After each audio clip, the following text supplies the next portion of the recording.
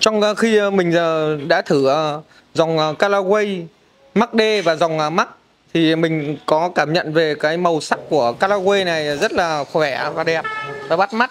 Sau đó là cái tay cầm grip này của mình cảm giác cho những người người chơi golf cầm rất là chắc chắn và thoải mái.